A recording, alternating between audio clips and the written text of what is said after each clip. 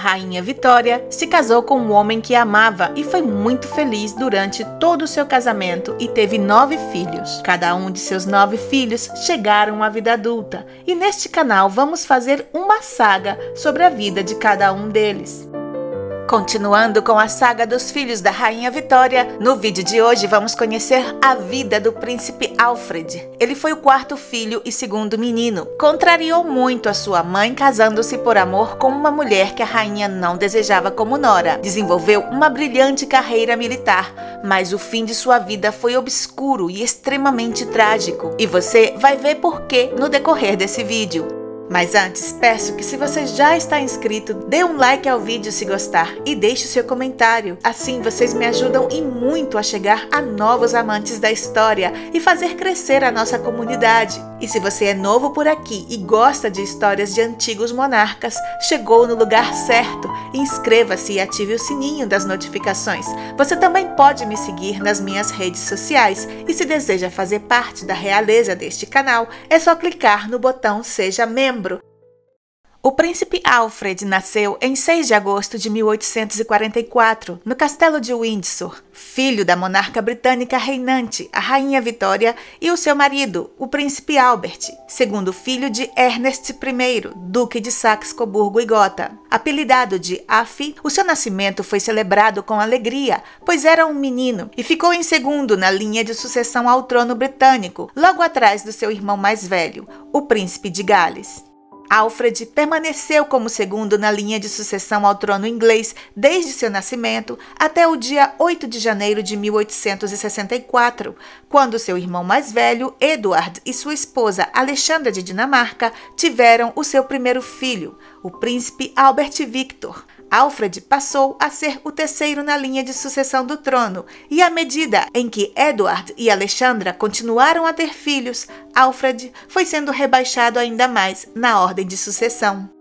Assim como seus irmãos, Alfred foi criado com um programa educacional rigoroso elaborado pelo seu pai. Inicialmente, Alfred teve aulas junto com seu irmão mais velho, Edward, na esperança de que seu temperamento mais calmo e maior capacidade de concentração melhorassem o desempenho do futuro rei. Contudo, a experiência teve o efeito oposto e Alfred começou a se distrair mais. E dado que ele era considerado mais inteligente, o príncipe Albert, o pai, decidiu separar os irmãos para que o comportamento problemático de Edward não prejudicasse o aprendizado do seu irmão mais novo.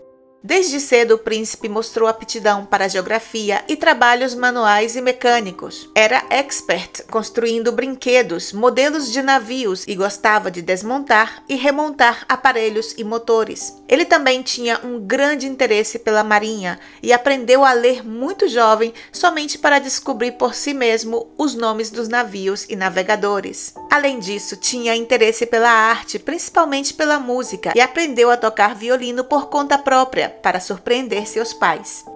A sua educação também foi focada na possibilidade de que um dia ele pudesse receber o título de Duque de Saxe, Coburgo e Gotha. O seu tio, que era o duque à época, não tinha filhos, e Edward, o seu irmão mais velho, era o herdeiro do trono britânico, o que tornava provável que Alfred herdasse o ducado. Em 1856, quando ele tinha 12 anos, foi decidido que ele ingressaria na Marinha Real. Nesse ano, foi separado de sua família e passou a viver com seu novo tutor para se preparar para os exames de admissão. Alfred passou no exame em julho de 1858 e foi designado como cadete naval aos 14 anos de idade. Alfred estava a bordo de um navio quando seu pai, o príncipe Albert, faleceu em 14 de dezembro de 1861. O navio estava nas Caraíbas e Alfred, então com 17 anos, só retornou para casa dois meses depois. A morte do seu pai o afetou profundamente e ele chorou muito durante o casamento de sua irmã mais velha, Alice, em 1 de julho de 1862.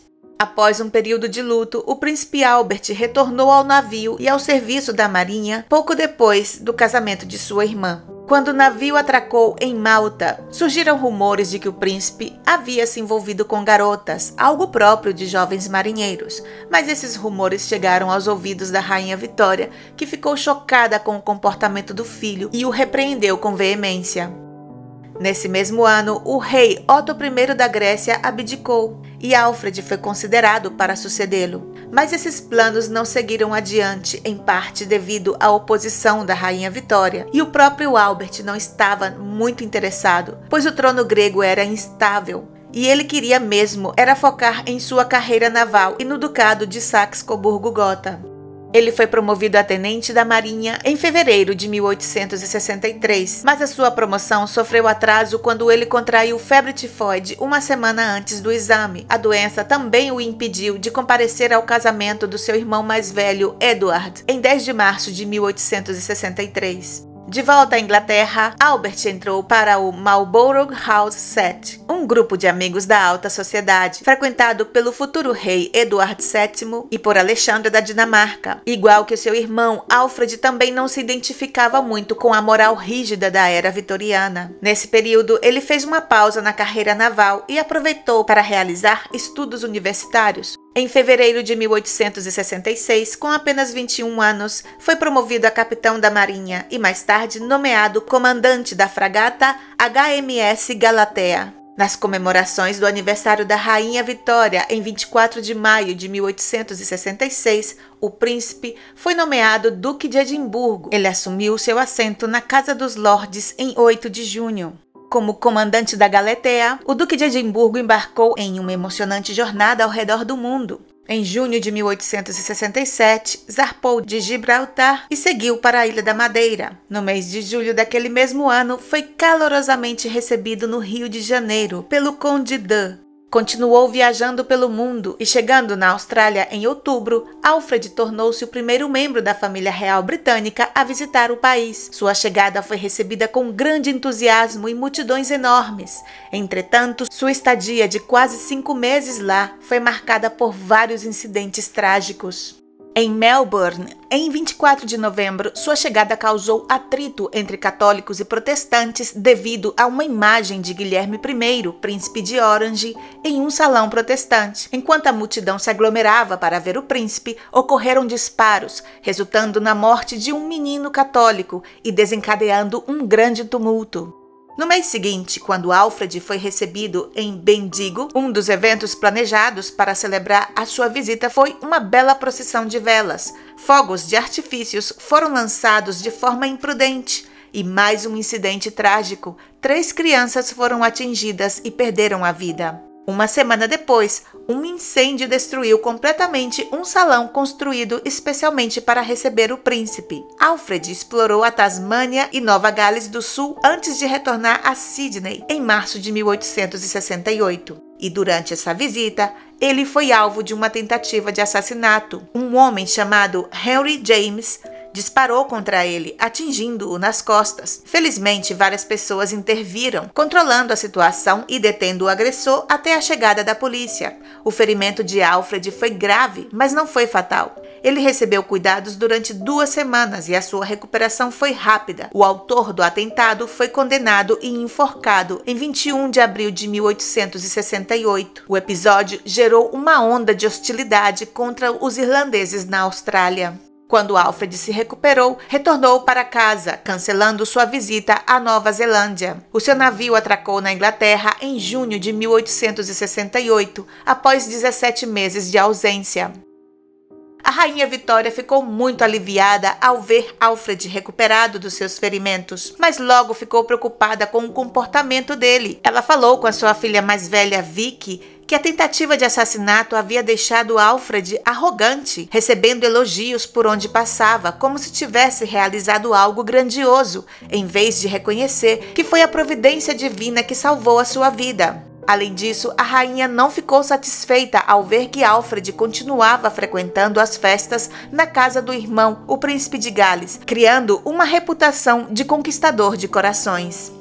Depois de um período de licença, Alfred retomou o comando do navio em novembro de 1868 para uma nova viagem ao redor do mundo. Ao retornar à Austrália no início de 1869, a Rainha Vitória havia dado ordem de uma recepção tranquila e discreta.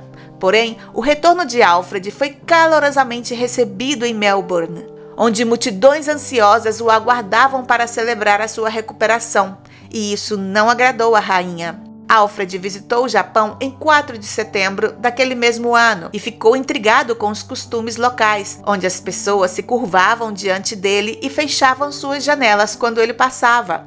Em uma carta para sua mãe, ele descreveu o Japão como um lugar tão novo e peculiar que o deixou um pouco atordoado.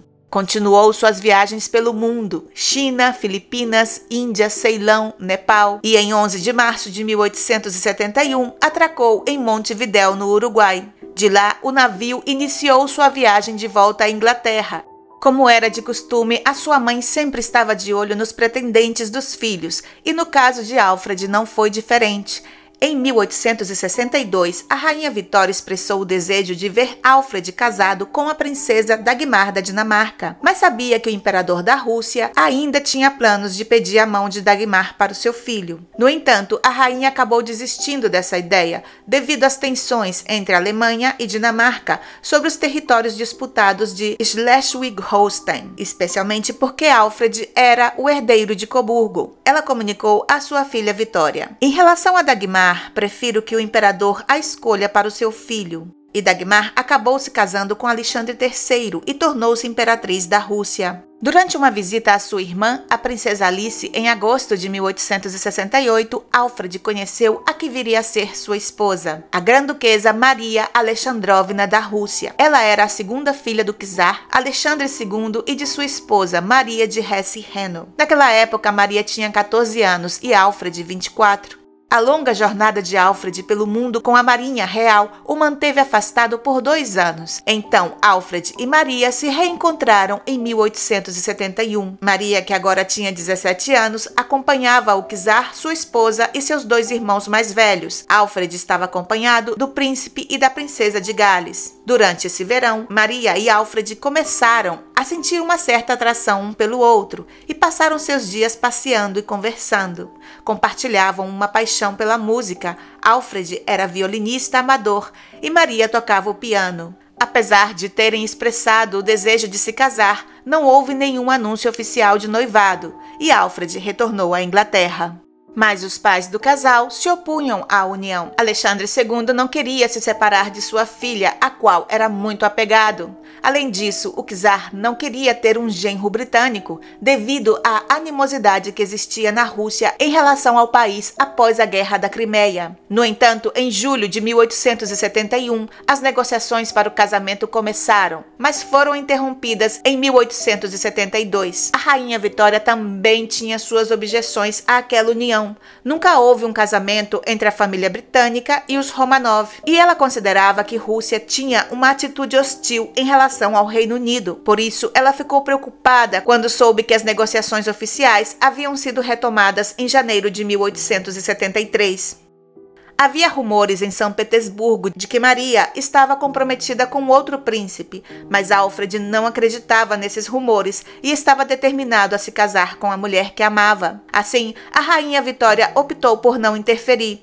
Ambas as mães continuaram procurando outros pretendentes para os filhos, mas Alfred e Maria rejeitaram a todos eles.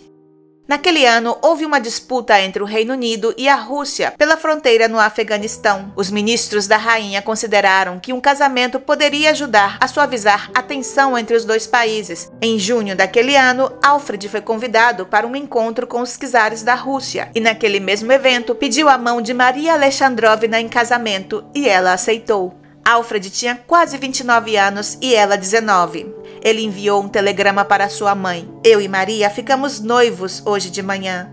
Estou imensamente feliz. Espero que nos dê a sua bênção. A rainha parabenizou o filho, mas confessou em seu diário: Não conheço Maria e sei que ainda pode haver muitas dificuldades. Então, meus pensamentos e sentimentos estão confusos. Alfred foi o único filho da rainha Vitória que não se casou na Grã-Bretanha. A cerimônia ocorreu com muita pompa na grande igreja do Palácio de Inverno em 23 de janeiro de 1874. A rainha Vitória não pôde estar presente e foi representada pelo seu filho mais velho, o príncipe de Gales. O casamento teve duas partes: a cerimônia ortodoxa, na qual o czar esteve pálido durante todo o evento e ao final disse: É pela felicidade dela mas a luz da minha vida se apagou. Depois, os noivos e convidados dirigiram-se ao Salão Alexandre para uma cerimônia anglicana. As duas cerimônias foram seguidas por um banquete no palácio. Uma vez que o casamento ocorreu fora da Grã-Bretanha, os súditos ingleses não demonstraram o mesmo entusiasmo dos outros casamentos reais, mas ainda assim houve festividades locais. E aqui temos uma curiosidade que talvez você não saiba. Para marcar a ocasião, uma pequena padaria inglesa criou as bolachas Maria. Essas que são tão famosas até hoje. Essas bolachas foram criadas em homenagem à Grã-Duquesa. O casal passou a sua noite de núpcias em uma suíte no Palácio de Alexandre e, após uma breve lua de mel, deixaram a Rússia e foram viver na Inglaterra. Alexandre II nunca perdeu a esperança de que eles retornassem um dia e a suíte permaneceu reservada para o casal por duas décadas. Em 1894, ela se tornou o quarto do último czar da Rússia e de sua esposa, Nicolau II e Alexandra, respectivamente o sobrinho de Maria e a sobrinha de Alfred. Maria recebeu o título de Duquesa de Edimburgo e desembarcou com o seu duque em 7 de março de 1874 na Inglaterra, sendo recebidos calorosamente pela população de Windsor. Maria foi especialmente aclamada pela multidão.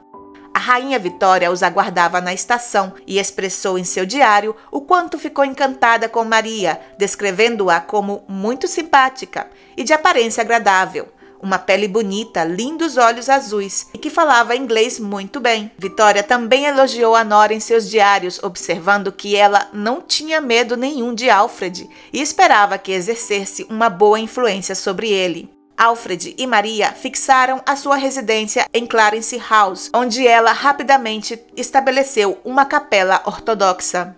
O casal estava muito apaixonado, mas enfrentou desafios.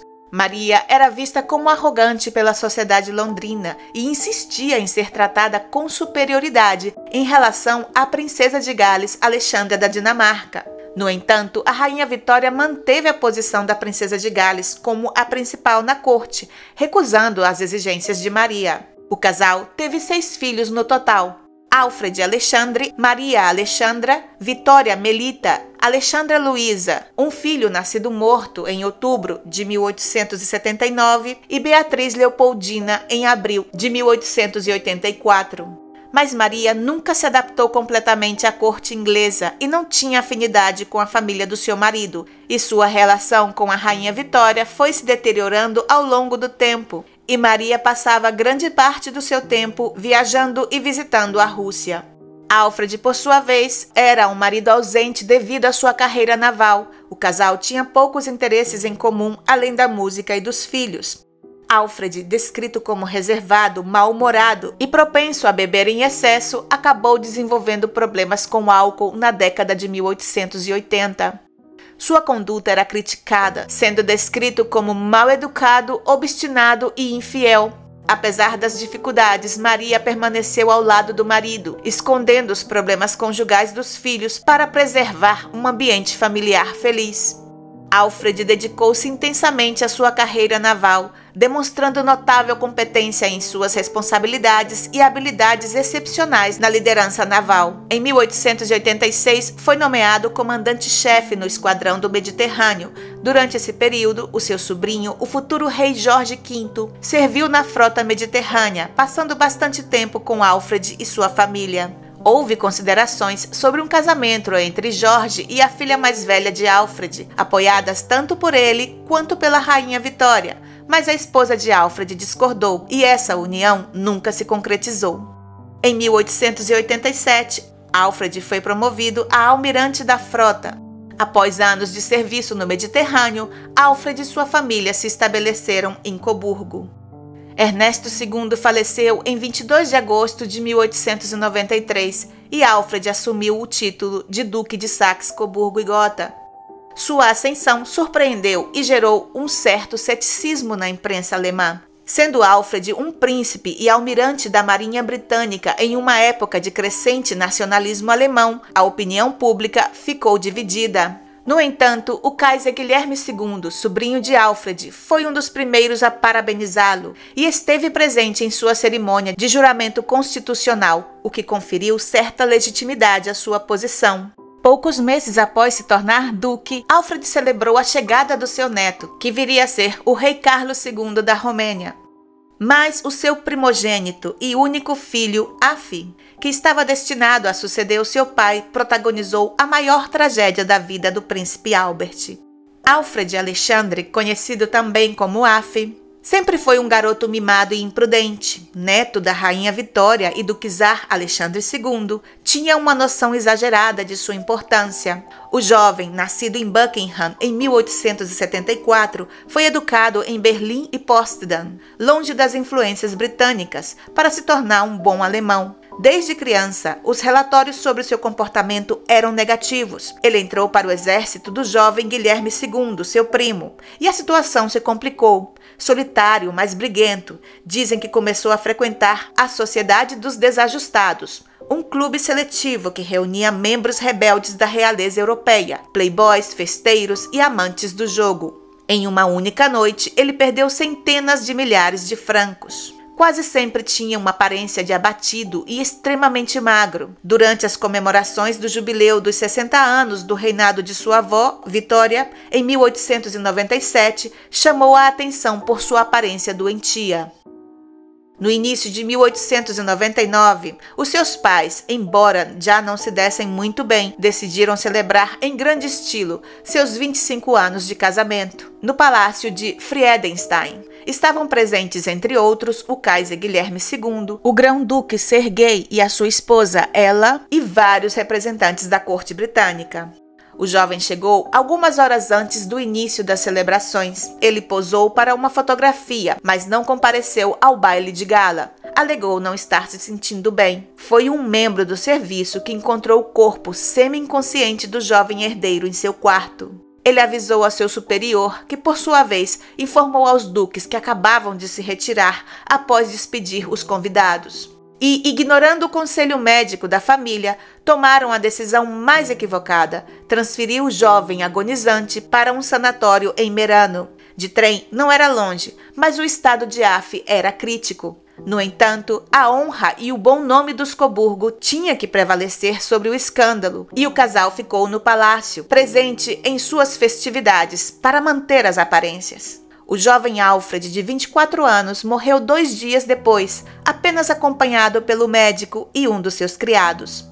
O escândalo na realeza foi enorme. Diferentes jornais europeus espalharam rumores sobre a verdadeira causa de sua morte, incluindo sífilis e depressão nervosa.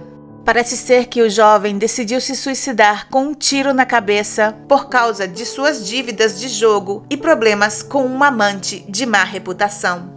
O relacionamento entre Alfred e Maria, que já não era bom, nunca se recuperou após essa tragédia, e um acusava o outro pela morte do filho. Alfred, cuja saúde já estava bastante comprometida pelo tabagismo e alcoolismo, se entregou completamente à bebida. Em maio de 1900, Alfred começou a enfrentar sérios problemas de saúde e no mês seguinte foi diagnosticado com câncer na garganta faleceu em 30 de julho de 1900. Ele morreu enquanto dormia, cercado por sua esposa e suas três filhas mais novas. Faleceu aos 55 anos e foi o terceiro filho que a rainha Vitória teve que sepultar, no cemitério da família ducal em Coburgo, na Alemanha.